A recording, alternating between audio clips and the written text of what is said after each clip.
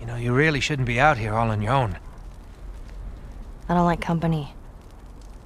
I see. What's your name? Thomas. Why?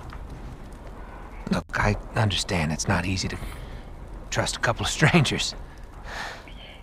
Whoever's hurt, you clearly care about them. Sure, it's gonna be just fine. We'll see. Oh shit. Yeah, another gun. Now we're gonna You have had a another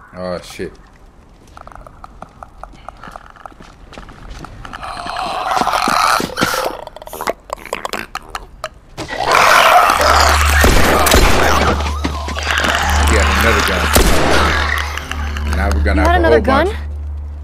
Sorry. Yeah, I'd really like my rifle back now. No, you have your pistol. Hope you know how to use that thing.